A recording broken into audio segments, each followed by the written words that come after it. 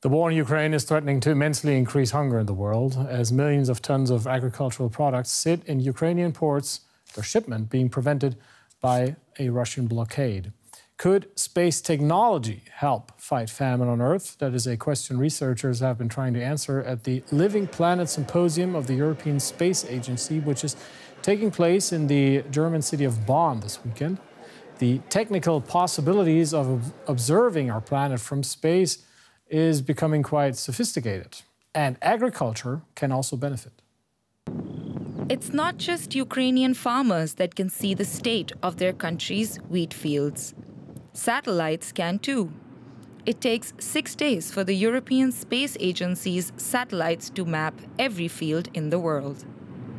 Space information on agriculture brings the transparency to agriculture markets helping them to avoid speculation in the market uh, pricing of certain crop uh, staples such as wheat and maize.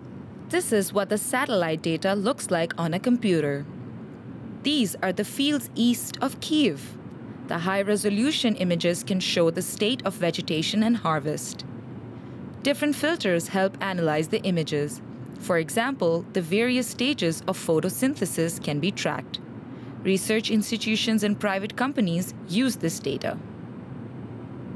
Those features can tell us something on how good or how bad the plants are growing, what kind of plants are growing on those fields, and also um, which management techniques, well, not all of the agricultural management, but a lot of the agricultural management are being um, uh, implicated on the field.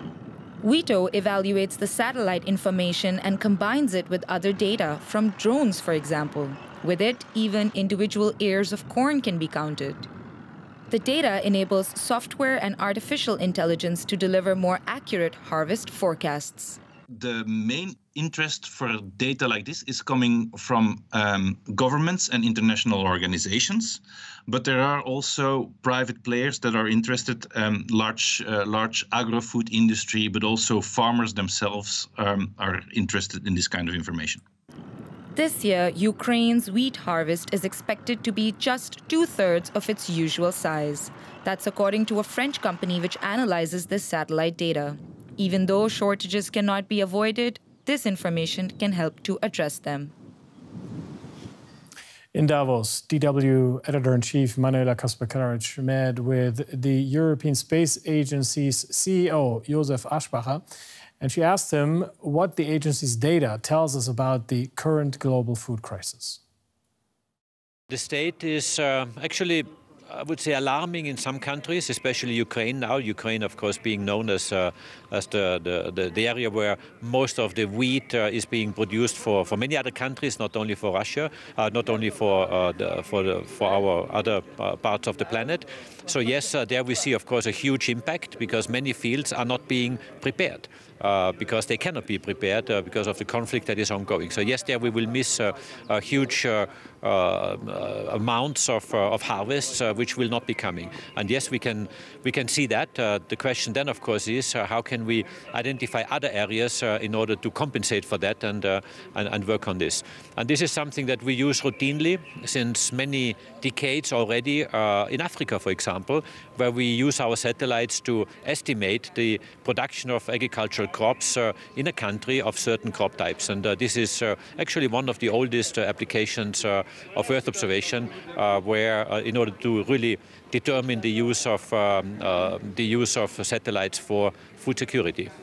Now, the commercialization of space seems to be gaining speed now. What's your take on that? Uh, what's my take? Um, of course, this is something that uh, happens globally.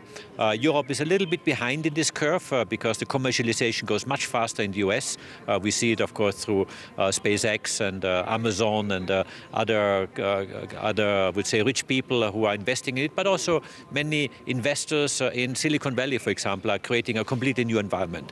And that's also happening in Europe. And that's something I also would like to do because I would like to create an environment in Europe where uh, small companies, startups uh, can develop businesses uh, uh through new services, uh, new constellations, uh, new activities they are building up. And yes, commercialization is a big topic also for me.